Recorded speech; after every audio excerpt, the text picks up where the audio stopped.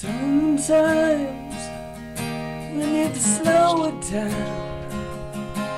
Take a look around and breathe. Cause these times go by so very fast. Moments never last. Just breathe. Breathe in, breathe out. Still, shout. Love is what it's all about. Sometimes when you feel you've had enough, living is just too tough.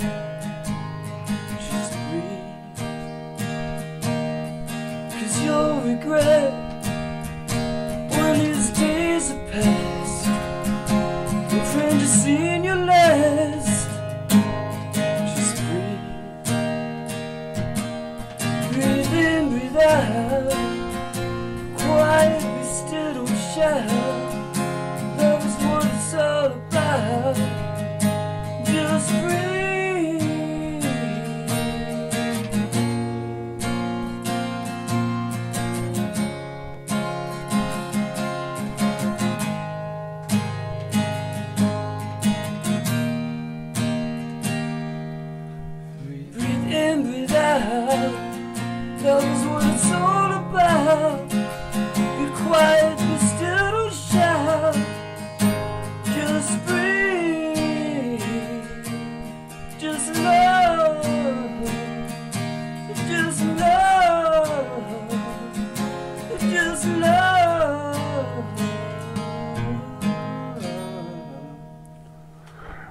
Good evening and welcome to the Just Love Show. Uh, it's a really beautiful night here in Northern California. I would pretend like we're doing the show live right now, but actually, I'm, this is the first time we're going to pre record it and we'll be playing it live in a couple hours.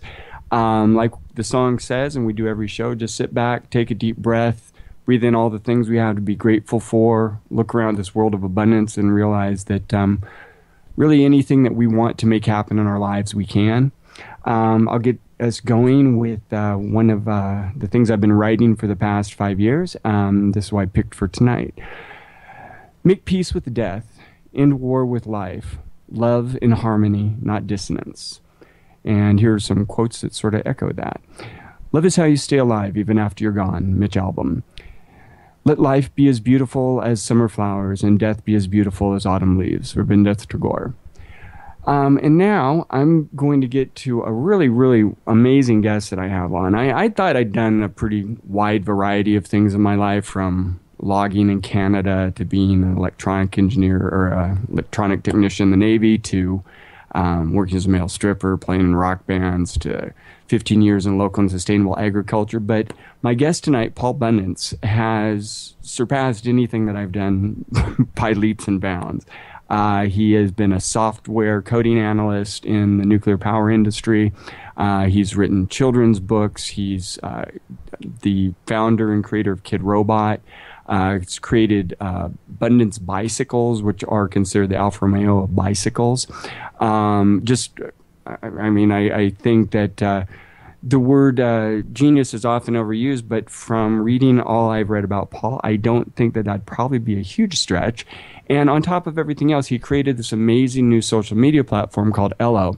And what makes Ello really unique is it doesn't allow any advertising, it doesn't own your content, it doesn't own your um, personal information. Um, and I'll let Paul explain a lot about that and other things, but I want to hear really how this journey from high school uh, uh, coding, safety coding uh, uh, person in the nuclear power industry to what he's doing today, how that journey led him here. And, and literally, like I said in the beginning of the show, if this is an example of you can do anything in your life you want to do if you open your mind to it, um, I, I think Paul's life is a shining example of that. So, without further ado, welcome to the Just Love Show, Mr. Paul Budnitz. Thank you. Thank you very much. What a what a fantastic introduction. Thank you. Well, thank you. It's really wonderful to have you on. I was reading over uh, your history, and I'm like, "Whoa, where what haven't you done in your life?" And you know, how did how did all this, uh, you know, start? Like, I, I did a little bit of like coding and binary in high school, but obviously mm-hmm. not into the nuclear industry. Yeah, you know, well, it was funny. I was really into computers as a kid, and my father um, was at Cal Berkeley, and he's a nuclear engineer actually. And they needed to figure out. Uh, they actually needed to create software to figure out whether or not nuclear reactors were going to melt down and the probability of that happening. Um, so they looked around and hired me. I think at that age, and it was a while ago. Um, I guess a lot of the people who were writing code were pretty young. I was pretty young even for that, but that's kind of how I got into it, and I ended up writing software that took all the probabilities of every part on a reactor break, from breaking down, and you could you could really, I guess you could add up all that all that different stuff, and uh, we came up with numbers and answers, and um, then it you know Fukushima happens, and it it really proves that. the human mind, I guess, has limits. If you know what I you, mean. You read you read my mind. yeah, totally. So, um, and it, it does make you question that they had, you know, 17 year old, a 17 year old kid writing the software. But I think I did a pretty good job for for what I was doing. Well, con- considering it took, uh, you know, quite literally an act of God to prove you wrong. Yeah, that's right. You know, that's the, true. what's that? What's that? What's that old expression? Whether whether you're a religious person or not, there's some truth to it. It's man makes uh, plans and God. Uh, can't remember what the rest of it was, but you, you know the, the, general thing. So um, you went I, from I how long? How long did you do that for? Well, I, you know, it was funny. I, I did I did programming. Um, it was it was just kind of what I was interested in in high school, and then when I about the time I got to college, I uh, swore I would never program again. Mm-hmm. Um, uh, a promise I ended up not keeping actually, but uh, mainly just because I didn't want to spend my life sitting in front of a computer screen. Right. I uh, I was more interested in in people and and actually in art. I ended up becoming an art major, and that led me in a totally different direction. Wow. Yeah, I I I've had a weird um, growing up. I grew up on a small farm in um, Washington. Mm-hmm. a small town in Washington, and mm-hmm. so I have sort of a weird Luddite relationship with tech. I, it doesn't I'm not afraid of it. I understand. I use it all the time. I was considered so, sort of a thought leader in the world of social media as it was mm-hmm. developing, you know, a while ago. And even like I mentioned, learn how to write uh, code in high school. But it, I, when I was writing for BAM magazine, which was a Bay Area music magazine. Oh, you wrote for BAM? Oh, I wrote for totally. BAM. you know, I, I grew up in Berkeley, so. Oh, we, you know, my my guest last week awesome. was Alex Skolnick, uh, who grew up oh, in Berkeley. Far out. Oh, far out. That's really yeah. cool. In fact, his parents yeah. were also academics at Berkeley. Wow, great. That's cool. So, so you cool. you're familiar with BAM then? Oh yeah, totally. Yeah, I mean we used to read it as kids. Well, computers actually destroyed BAM because uh, Dennis Dennis sold Microtimes for twenty million dollars and said, "Well, I got all this money. What do I need to keep doing BAM for?" Right. but they they I was I didn't realize they were doing both things. Yeah, he he'd owned both magazines, but they I was actually they said, well, you you can't mail us your your articles, and this was mid '90s. Uh, so I went out and bought a twenty-five dollar word processor, and was I was mailing them floppy disk, and they're like, "No, this isn't going to work." So I finally went out reluctantly and got the and got my my uh, horrific Mac. It was not a good Mac, but was, oh man, I got a better story than that, but very similar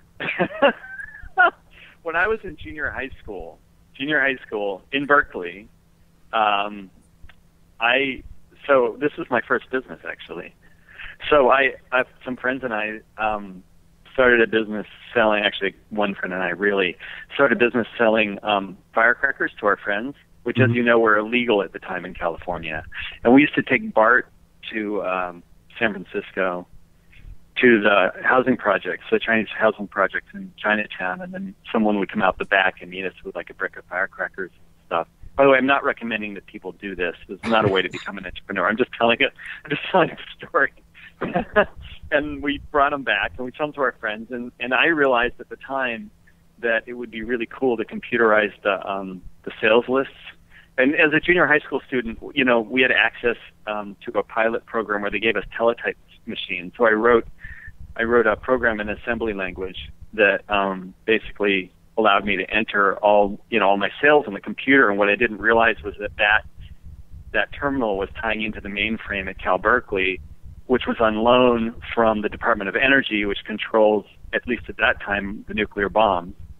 So um, we got busted. I got suspended for a week. Two that tops my story. cops showed up at my house. My dad and my dad, after they left, my dad, to his credit, looked at me and said, "Now that was very, very, very cre- uh, clever. Don't do that again." have you have you by chance happened to see that show Scorpion? No, no, I haven't. There's a show Scorpion. It's literally it's it's the weirdest like sort of. Uh, crime solving FBI show you've ever seen. It's about a group of genius hackers, basically. Oh, and the story that, that, the story that you just told is and it's supposedly it's supposedly based on um, a true guy and is a uh, his IQ is like 194 Walter O'Brien. Oh man. Wow. And uh, but they the the story that you described they've actually had happen in the show. Wow. Not not identical. Yeah, and then, yeah, then no, the only then the only uh, other real involvement, well, I mean, again, other than you know day to day living on the computer now, um, Yeah. I got I got a crash course in the internet history with a company called um, RINA. And RINA Huh. was created by John Day, who is one of the original uh, guys who came up with the ARPANET. And he warned everyone at the time they were developing this, Cerf and others, that uh, this wasn't going to work. As soon as you brought a load on, it was going to crash. And sure enough, as soon as they brought the bases on, it crashed. Then you fast forward to 82. Um, they're going to go public. He's again warning, don't do this. And at this time, according to the story that I was told, uh, Vint Cerf agreed with him, but millions and millions of dollars have been spent. And so they moved ahead. Then fast forward to 93, they now mobile and all operating off the same flawed architecture. So John at that point went back to the uh, blackboard and said, you know, where'd we go wrong on this? And he realized that he split this that back in the late 60s, early 70s, they split the stacks of information in the wrong way.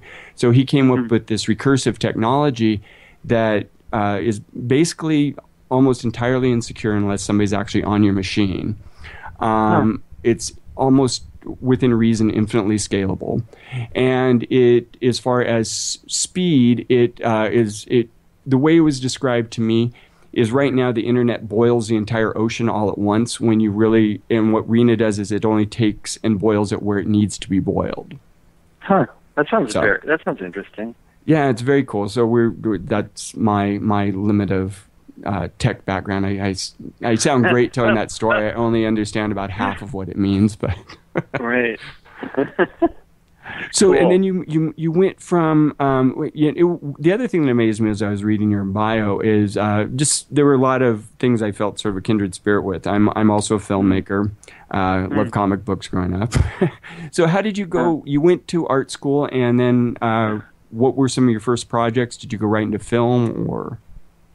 You know, I I was, I, you know, I was actually I went to school thinking I would study physics, um, like my father, and when I got there, I just realized I didn't want to do that.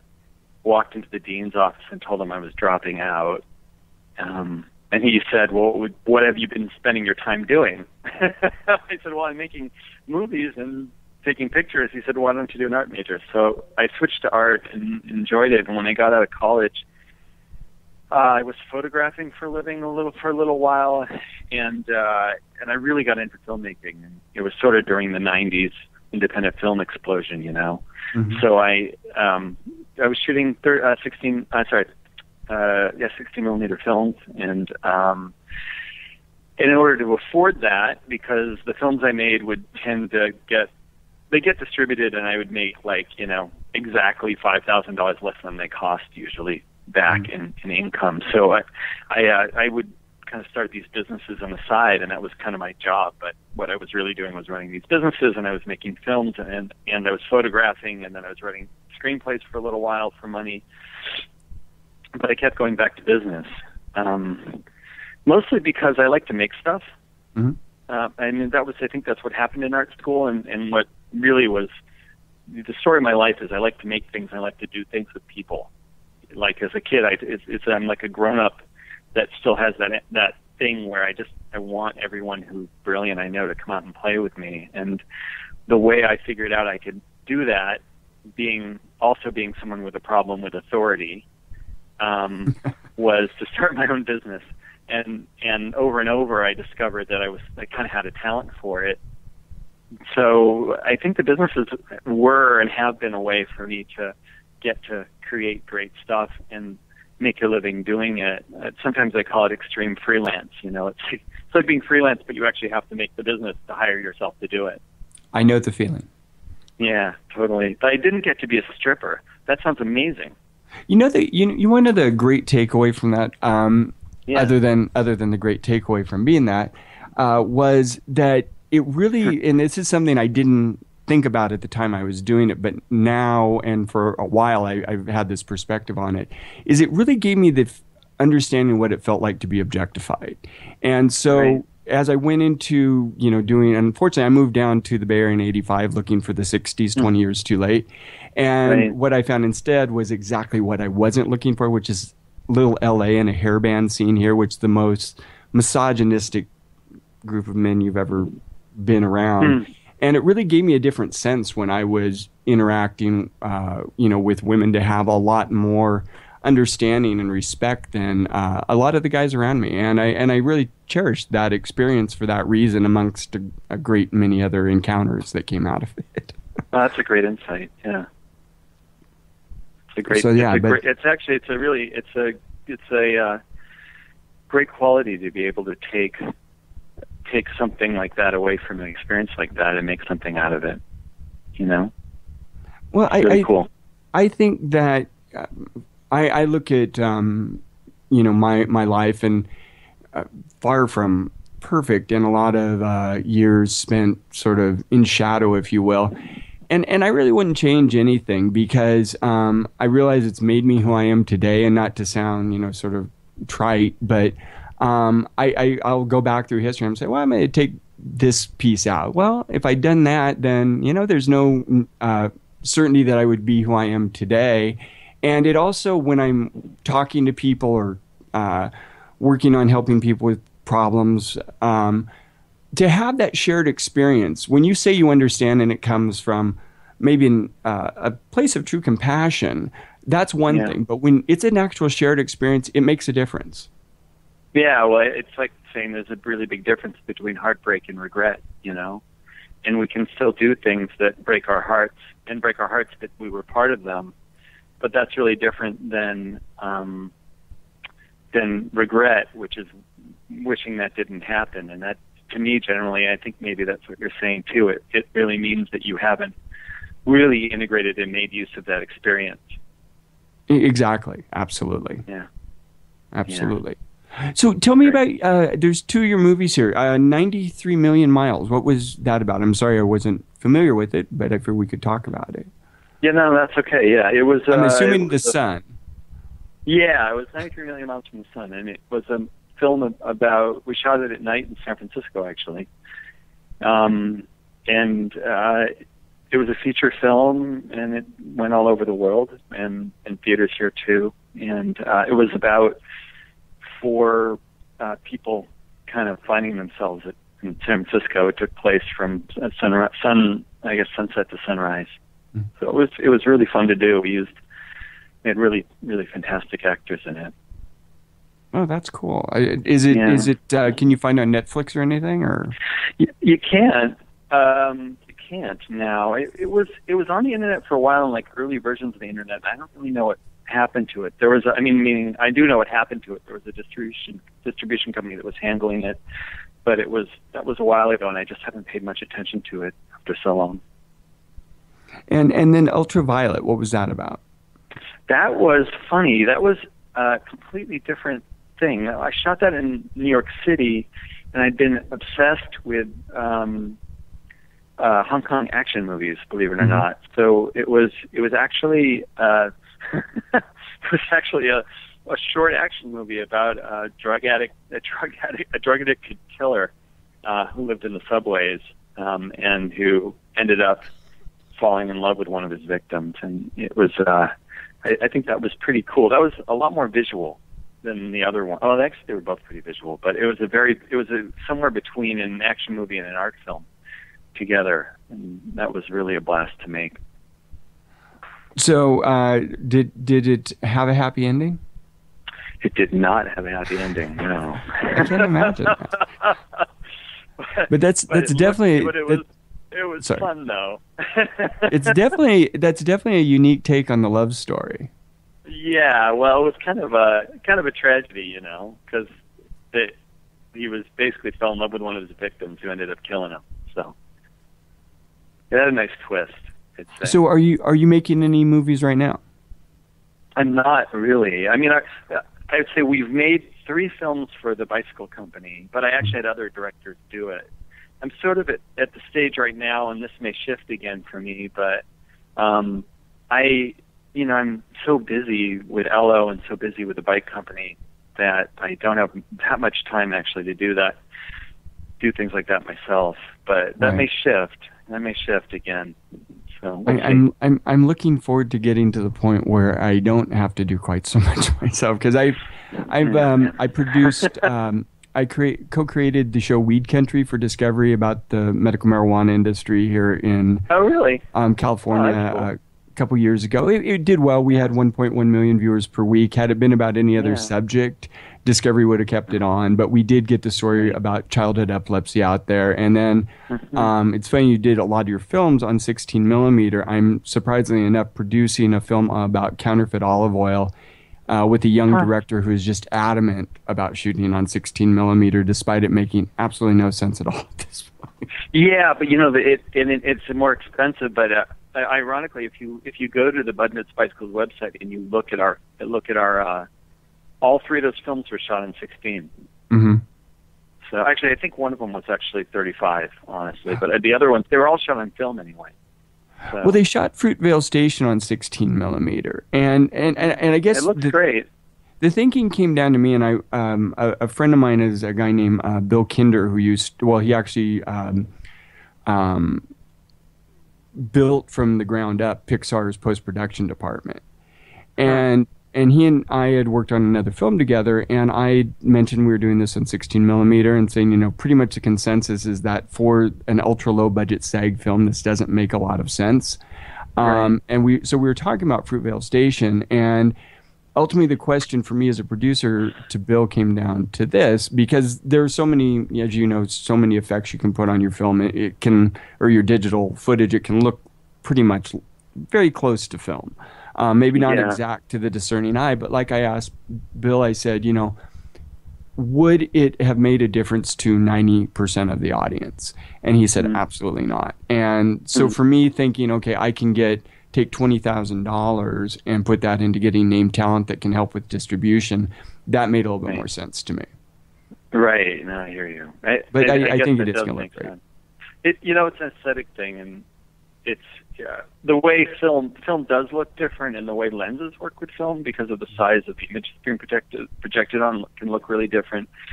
But there's a lot of great stuff that is, you know, you can do such great stuff with video nowadays, and it's so so advanced that, uh, as you said, you know, it just depends on the aesthetic you're looking for. No, and, and I also think there's something to be said, if, even if you're not um, going to shoot on film, uh, you know, for whatever reason, the future of your career, it makes a lot of sense to know how to do that. Especially, I think um, for still photography, I think learning how to work in the darkroom, learning how to work with film, not knowing how to do those things, I, I think you lose something. And I also think not having your negatives and things like that is. Um, my my uh, wife who passed away was a photographer, and I've talked to a lot of photographers, and there there definitely is something lost there for sure. Right. Right. Yeah. It's you know everything's what it is. It's all different. So.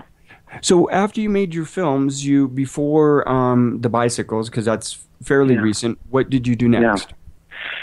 Well, it wasn't one thing. You know, these things really overlap, so it's hard to say one thing to the other. You know, I I was doing all that stuff when I was making films, and to support my filmmaking habit, I was running businesses, and those businesses were things I cared about. I don't really know how to make a business except other things I fall in love with. And in a weird way, a friend and I fell in love with blue jeans. So we had a business where we were.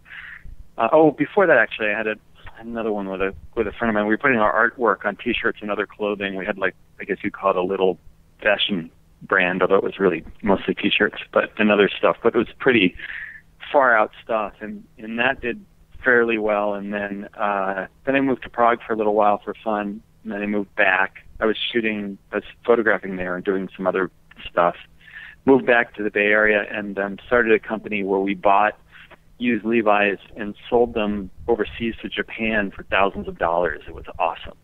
So we were buying vintage Levi's and leather jackets and um, vintage tennis shoes and all kinds of stuff. The Japanese were crazy for it, and the markup was like ten thousand percent. So we we kind of made a bunch of money doing that, and I would then spend it all making another movie. and that would that went on for a while, and then I started a company called Mini Disco because I'm um, still in the filmmaking, I was using um, mini disc players to do digital sound recording before uh, the iPod and, and a lot of digital recorders came out. We had hacked we we had basically hacked mini disc players to make them read writable.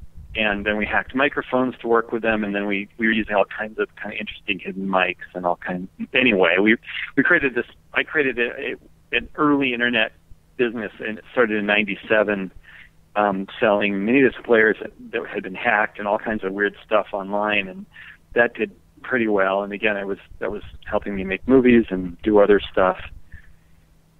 Following that, somehow there were other things mixed in there, I think. But I uh, I started a company called Kidrobot to make um, really making high-end toys that were designed by fine artists and graffiti artists, and uh, who are all my friends and myself as well. And that grew to actually be a fairly big company. I, I mean, we had 120 employees and stores in six cities, and a dozen of my designs now are in the Museum of Modern Art. So wow. that was pretty cool. Yeah, that was, that was really fun. Um, so I did that for a while, and then um, and what else was I doing mixed in with that? And, and then so the bike bicycle company kind of overlapped. Then I sold that company I just felt like I was repeating myself after a while, so it was time to do something new. And I started the bicycle company, and then started Ello more recently. So uh, yeah, I've done all kinds of different things, and I'm sure there's some stuff in there I forgot too. Well, what is um, before we get into Ello and stuff? What, tell tell um, if you want to. It, would be great to know a little bit. Um, this show oftentimes will take a spiritual bent. Uh, what what are your spiritual Yeah, understandings, or where do you come from on that level? Well, uh, I've had a meditation practice for 20 years. Um, uh, I was recently interviewed by Shambhala Sun, and they asked me if I was a Buddhist, and I said no. Um, but I've sat in a, I guess, in a Buddhist setting and in, in um, Zen centers for quite a long time. So, uh, so I guess that would be my bent. Um, I grew up Jewish. Um, but I never found I, I just really never found much in American Judaism to be honest. It felt you know was, I grew, I actually grew up in an Orthodox house, um, in a kosher house, and went to a synagogue where the men and women still stand separately, all that kind of stuff. So uh, I, I don't know if that's enough of an answer. Oh no, But- that's fine. I just I, I noticed the the hundred monkeys quote, so I was Oh, uh, yeah. just sort of a little bit uh, curious. I I was actually confirmed Zion Lutheran, and that real Huh. be, before I was. I, I, by the time I was ten, I was going. You know, none of this really makes any sense, Right. uh, for a lot Yeah, of reasons. But but at the same time, I, I've learned not to demonize religion because I think that foundationally, most religions really have some good core values, and there's a lot of people that are just seeking. Um, and then I find I find sort of organically that I fall into um, you know I, I guess a Buddhist mold. Um, you know, from really looking to teachers like Joseph Campbell, especially, and then lately Yeah. I've been listening to I've listened Cool to. guy. I got from KPFA. I got 54 hours of Alan Watts lectures. oh man, how awesome! I didn't know It you is- could do that. Oh yeah, just for donating so uh, donating to the station, they are so cool. It's just like while I'm working on the computer, I just got Alan Watts going. So if I wasn't a Buddhist Yeah. before, I am now. Yeah, you know what? You know, I'd say my take on religion is this. Um, I think that if if life were, I, I think if there were a secret or an answer to life, you know, that were clear and obvious, I Mhm. think someone would have, after everyone thinking about it all these years, Mhm. Someone would have discovered it by now, Mhm. and we don't know what it is. But on the other hand, if I think if life were totally meaningless, then I think by now someone would have discovered that, and that would be clear to us as well. And I'm I'm kind of at the place where um, maybe both things at once. you know, maybe life is both completely meaningful and completely meaningless. And uh, and I think I don't know, but my experience is that faith is very important. I, I don't I actually don't know how. Um, I, I I wouldn't know how to live without it. Right. And as I get older, the objects in which I put faith become less and less clear. Mm-hmm. And in that happening, they be, I think they become more profound. So, right. Well, I, I had, and this is my experience anyway. I, I, I agree with you um, with pretty much everything you just said. Uh, my my sort of foundational thinking came when um, I was 12 years old. My dad and I had gone to a football game in Seattle. I got home, and you know, again, I was in a town of 3,000 people. You didn't have out of body experiences. You didn't uh, mm-hmm. out, have astral projection, and I hadn't done any drugs yet. And um, I, I left my body floated out over my bedroom, out of the house, out of the solar system. In each way, it's like taking this in, out of the galaxy, out of the universe.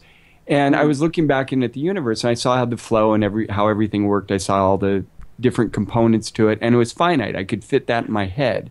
And then I was turned out towards infinity, and that became my foundation for my thinking the rest of my life. And I didn't really understand that that was an unusual perspective to have. Um, and it turns out, you know, it, it really it is once you um, because, like you said, there to me there isn't an, an ultimate answer. In fact, uh, Joseph Campbell in um, The Power of Myth talks about an ancient Sanskrit quote: "Those who," and I'm paraphrasing, "those who say they know don't, and those who say they don't know do." And right. and I think it's really that. It's like infinity is an absolute. There it can't not be. And because it is what it is, I could from my perspective, live a trillion existences and be no closer towards that ending than I am now. Beautiful. You know, and then years later, I also came to sort of feel that um, love, in some ways, is synonymous with infinity in the sense that it's one of these incomprehensible things that we will never really understand fully what it is. But I sort of look at um, infinity as you have this infinite amount of information out there um, mm-hmm. that is shaped into all these different realities and illusions that we experience, and then you've got this infinite energy source that sh- that actually binds and brings all these things together. Um, and gives them I I call it the tapestry theory of infinity. But anyway, it, it and I think that is love. I think it's the thing that brings all these other all this information and is the story behind is the thing that actually brings all the components together right right you know? i think well i you know it's interesting what you said because to me the well I, you know i i think that one of the things that we get caught in and it seems like you're kind of saying the same thing is that we have there's a tendency to get caught in understanding and to assume that we can understand these experiences we have or that we can understand and then therefore have an explanation for what's going on. Right. But if you let go of the idea that you can really understand and really explain things and that, and that you should be able to understand and explain things, then you really start to relax right into really not knowing, you know? And absolutely. That's a very powerful position to be in actually. It's a, it's a really wonderful way to live because and, it takes and, a lot of stress away, and it well, and it probably jives with the real experience of life. Like you know, we can't really explain so much of what we experience.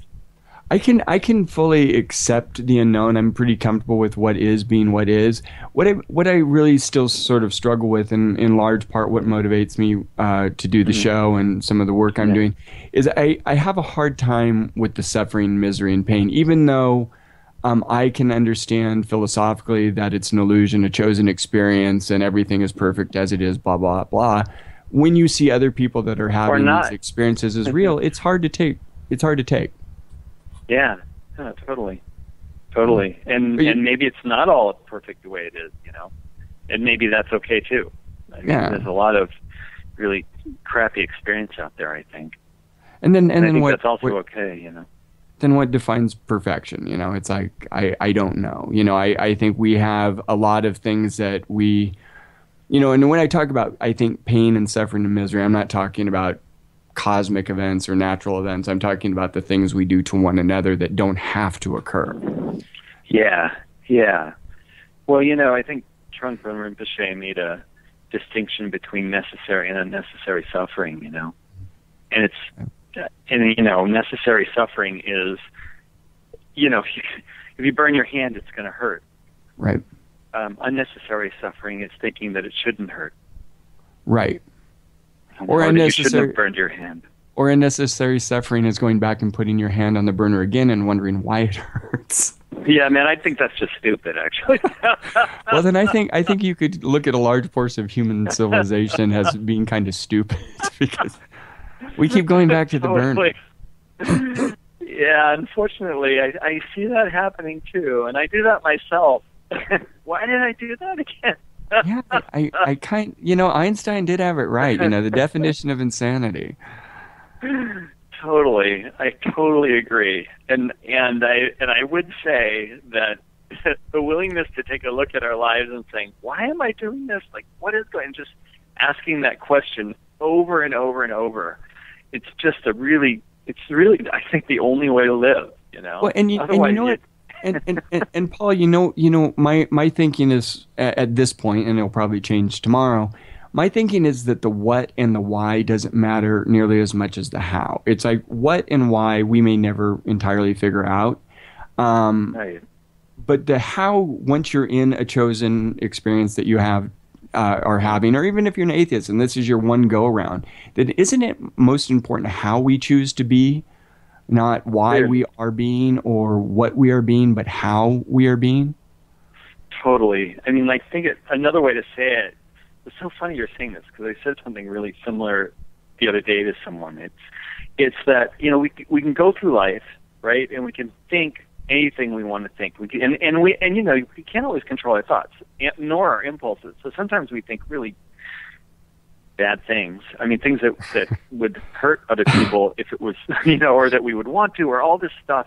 But what really, the only thing that really matters is what we do, how we act you know, and, and children really teach you that. I have a daughter, and and the only thing that matters is how I act toward her. It doesn't matter what I think or what I feel. And as we, and I think the definition of maturity is really the willingness to act appropriately, regardless of how we feel inside. Because a lot of us who grew up in America in the, whatever the 70s or the 80s, or the 90s, I guess, And, um, there's a lot of trauma, you know and that trauma just gets built into our system. And to me, to me, it's just like, are we willing to act responsibly? And I, basically, I, I don't care what people think. I just care how they act. And right. and that's something that's very clear and that I can judge and I can say no, you can do better, you know, and I can do that with myself. Right. And that, and that and that was something that actually in one of um, Alan Watts's interviews he he was talking about from a Buddhist perspective is that's mm-hmm. sort of where some religions, Christianity, Islam, uh, a little bit cross the line into saying it's not just your actions that are bad; it's your thoughts that are bad as well. And yeah, that's, that's a pretty that's, that's a pretty high bar to set. It, it it is, man, and and it's really like it just it creates a it creates a situation where you sort of are bad and you're stuck being bad and there's nothing you can do about it. Or actually, you know, if we one of the interesting things is if we stop denying who we are and all the parts of who we are, mm-hmm. all the things we feel, even the parts of the things that we feel that we don't like, you know, um, then then actually we start to have power over them in the way that we act. You know, we're not so subject to them because we're not reacting to those things anymore. So if I have an impulse that says, God, this guy on the radio with me is a jerk or something. isn't happening. But if I thought that and I acted on that, it probably wouldn't serve the situation, right? Right. Um, but instead, because if I if I can just show up, uh, then suddenly I can go, oh, I don't I don't actually want to act on that because it's a great competition. By the way, I think you're great. That isn't what I'm saying, but. I, anyway, I, I, I yeah, thought it was going well. You'll have to excuse well. my voice today, by the way. I'm only example. slightly hoarse anyway, yeah, I, and I, I think in a lot of ways, like with all people say, like, how do you do all these different things and how do you do them well? And a lot of the times I say, I really have no idea. But I would say that anyone who spends time with me knows, like, I'm a completely crazy, neurotic person, probably more so than anyone else, and yet I think a bit more than many people, I have the ability to just um, kind of step over that and do what's needed in the moment, regardless of how I feel about it, regardless of whether or not I want to do it, regardless of how I, you know, how I feel like in the moment, like whether or not I just want to stay in bed today. I still just get up. You, know, you, you, touched on you touched on something really important by saying when people ask you how you do all these things, you say I don't know, yeah. and and it's interesting because that's something that I've been giving a little bit of thought to lately. Is there's been more and more research done that's showing that the peak human experience or human beings acting at their peak potential really comes mm-hmm. when they're in that zone when they're not consciously thinking.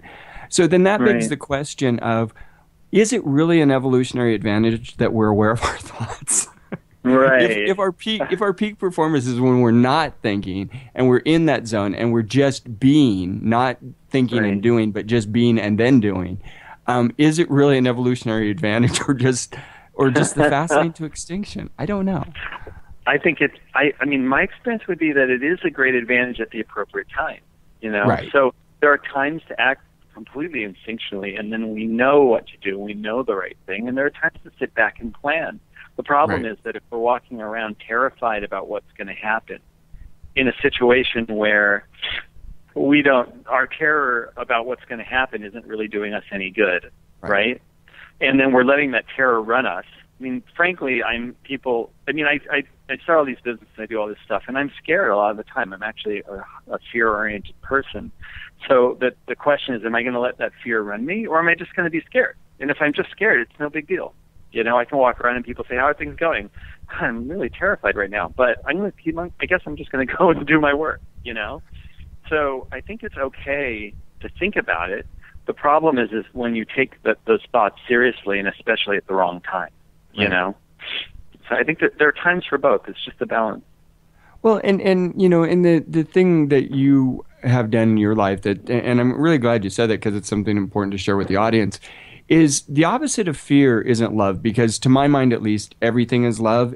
Um, the reason we will experience love as discomfort sometimes is because we're not in, and again this is my theory we're we're not in harmony. We're not in tune with the experience that we've chose to come to have. This experience has rules of nature laws of physics that and and there are things that we're not at one with right now. And so we're experiencing right. a lot of discomfort, but it's not because it's not love. But the, anyway, the opposite of fear to my mind is courage, hmm. which is what you have. Huh. Is hmm. is I, you're able to step I, through the fear. I wouldn't have thought that that that way. I would say I, I would think the opposite of fear is. Let me think about that. The opposite of fear is courage. I, I guess to me, like and maybe that that I would say that courage and fear are linked. Mm-hmm. You know, like you don't you don't get to have one without the other. Just like right. you don't get to really have love without heartbreak. You you can't right. have it. It's not a. We we often you know I I often say to people about our bicycles that part of my goal is to build a bicycle that's so wonderful that you fall in love with it, so that you have the privilege of having your heart broken when you lose it when it's stolen, when it's lost, or when it breaks, or when, when or when something happens to it, you know? Because owning things and, and really getting to fall in love with them nowadays is a rare thing, especially when you can buy so much cheap junk at Walmart or whatever, you know? It's like to actually own beautiful things, to, to let yourself care about them so much that when they leave, you're heartbroken. I mean, that's like so rare. And, and I don't know. So to me, it's like love and heartbreak are connected and I guess I would say, like you said, fear and courage are connected, but you don't get to have courage unless you're terrified. You can't just absolutely. just be courageous. You know? No, no, no. I mean, what would there be? But again, that's sort of the curse of a of an existence by comparison. This duality that you know it the way I s- sort of feel about this absolute consciousness, if you want to call it God, whatever name you want to put on this infinite thing that's out there that we're all a part of ultimately, can only have these ideas in the in the abstract. So it has to create these existences by comparison, these dualities, good and bad, fear and courage, in order to actually be able to experience uh, these things that it could only be conceptualized in the abstract, um, if as the absolute oneness, infinite consciousness, whatever, however you want to look at it. Yeah, yeah. I mean, I I think if I understand you, I agree. I mean, it just seems to me like people think that, for example, if they want, let's say you wanted to go start your own business, which I've done a lot of, right? And they think that they shouldn't be afraid to do it. But actually, you should be afraid. It's a scary thing to do. And Terrifying. it's just that being afraid isn't a problem. There's no problem with being afraid. And courage is allowing yourself to actually just be afraid and then just go act anyway. If you Right. weren't afraid, you're just stupid.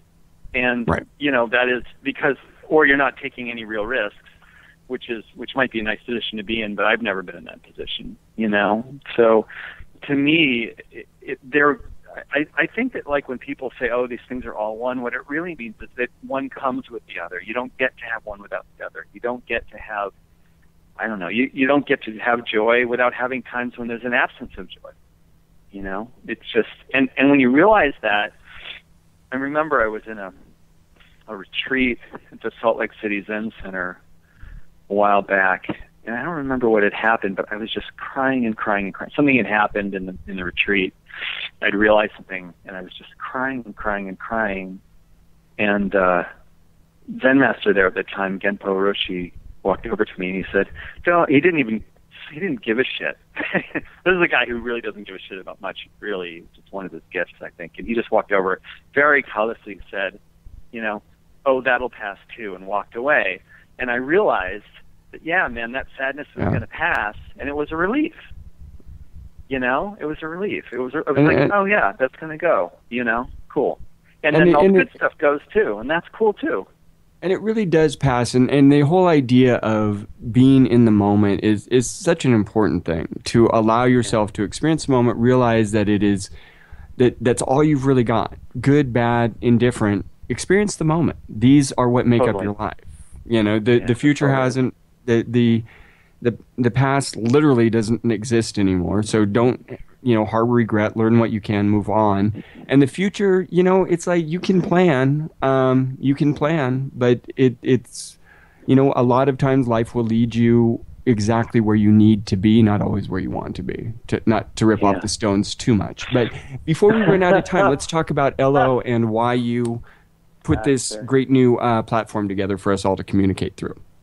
Yeah, because I, my friends and I discovered that we weren't using any of the other social networks anymore. We we just found the experience we just found the experience to be cluttered. Um, we we just weren't having fun talking to each other. There were all these boosted posts. Suddenly there were all these advertisements. Facebook, for some reason, had decided that I was a middle-aged woman of color, so I was getting all these really interesting ads for things I would never want.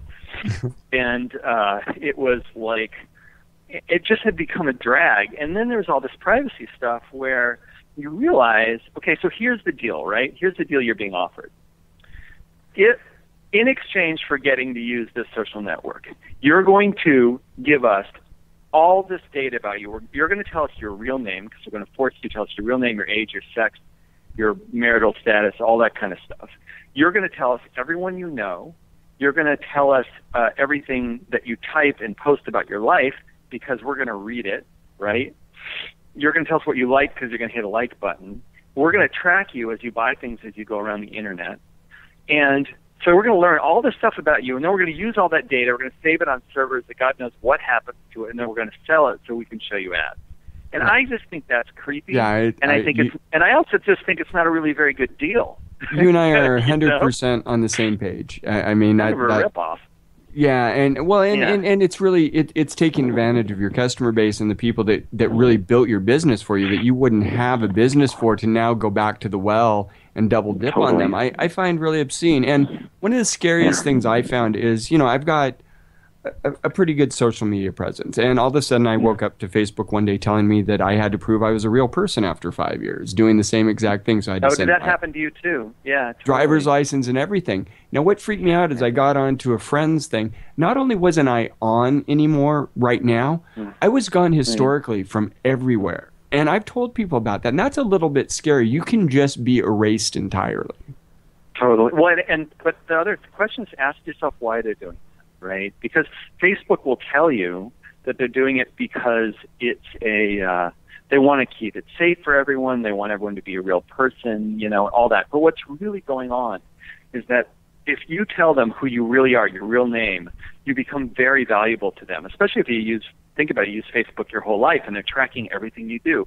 They're creating a little virtual you out there in cyberspace that they can sell. They know what you like, what you want to buy, what you have buy, what your friends buy, and they can advertise to you and also advertise the things you like to the friends that you're that you that you're in, in contact with. So it's a you know and a lot of people don't really care about all that. And quite honestly, like it's it's okay not to care about all that. In a, in a certain respect, you're like, yeah, yeah, fine, but I don't really care about all that because you know I'm getting this service for free. Well, here's the thing: the reality is that that that service you're getting for free isn't really so great anymore, right? Right. It's, it's full of ads, and then when you when you when you type something you hope your friends will see, a small it gets to a small percentage of them because they're sticking boosted posts and all kind of kind of other stuff in there instead. So we created Ello actually as a private social network. There were about a hundred artists on it. We were all friends. We invited a bunch of our friends, and we we actually built it as a totally private social network and used it for about a year. And the only problem was that at the end of about a year, there were a few thousand people that wanted to get on, and we hadn't built it to scale. So we we rebuilt it we launched it in August, invited the same 90 people to start, just to start it out. And um, three weeks later, we blew up, and we, and it's been like four and a half months now, I think, and we have millions of users. It's pretty cool. Yeah, it's Um, it's very cool. It's everything that I and friends have talked about wanting with social media is something that's simple, clean, only gives you just exactly what you need. Um, now, if we can just figure one platform where we can bring everything together, so you because the other problem I'm Yeah. having with social media right now is Yeah. nobody's communicating one specific way. You've got people communicating through Facebook, you've got people messaging Right. you through Twitter, uh, you Yeah. know, Google Plus, you name it, and it's like I, I miss messages all the time. It's like there's no way to keep Totally. up with this. Yeah, totally. Yeah, that is complicated. I don't know. I I mean, I'm a special case maybe, but I'm just using this network. It's it's very simple, like you said, and um, and it's still beta. You know, it's invitation only. You can only get on if you're invited by someone else who's on the network. You can request an invite on the homepage. You just have to wait a little while, and you will get on. But it's um, we're keeping it we're keeping it kind of close while we're still developing it, and it, it'll be out of beta about the time that the mobile apps come out in a few months, and then then I think things will really open up. Yeah, yeah, it's cool. Well, I'm really Anyway, enjoying it, a lot of and. I'm really enjoying it, and I can't thank you enough. Um, you know, and when you're ready, uh, just let me know as far as getting the word out, and I'll invite a ton of people to come over. Um, you know, uh, put put out a Thank you. message to to uh, you know all of the listeners, and uh, you know when when you guys are ready to open up, just let me know. But I, I love what you're doing. I love your history. Um, think it's uh, you know it this is really needed. Um, real quickly before we wrap up, what do you see Sure. as the future for social media, and also the um, where you see because I noticed in um, the interview you did with Fox, the economic Yeah. issue came up, and just you know uh, put into a, a, simple statement. Uh, the, well, the future of social media. Quite honestly, I- I think things are. I think people are going to start to demand more, and they already are, um, and better services. So, I I think you're going to see a lot, not just in social media, but a lot of new stuff on the internet that's not not advertising supported. Not not because people care overly much about ads, but because I think it creates a better product. I think people are waking up to that. So I, I think that really is the future, and and to me, the future is has more to do with, um, you know, let me put it this way. You know, in the '70s, there were a few record companies, and there were gigantic bands like Fleetwood Mac that made zillions of dollars, and the little bands made no money at all. You know, and with the right now, there's just an explosion of so much music, and for better or for worse, everything's in transition. I have a lot of friends who are, who are musicians who are unhappy because of the fact that it's it's hard to make a living now. But what I do observe is that there are a lot of smaller bands that are making a regular living right, as opposed to making zillions of dollars. right. And I think that wh- so my what I would say is on the economic side of this is I think that things are going to break up. There won't there won't be just a few big networks um, like Facebook and Twitter. I think there's going to be a lot of smaller ones, and I think that's going to create a lot more variety. And I think it's going to be really a good thing. And, and I think it's going to empower creatives, which is something that the world desperately Yeah. needs. Because I really feel for the last couple hundred years, the and and again, it's not to demonize business at all, but just the the importance that the the money guys have put on their place in the process has become way overvalued, and they've done a really good job of uh, marginalizing the creative thinkers, which that shouldn't be something that's always about profit. That's something that you need as a culture, as a civilization, to drive you on to to come up with the next great ideas. Yeah, totally. I mean, Ello is a public benefit corporation, so we have a mission. It's, you know, we have a public benefit mission. It's a it's a new kind of corporation, for-profit corporation, actually, that lets you have a mission.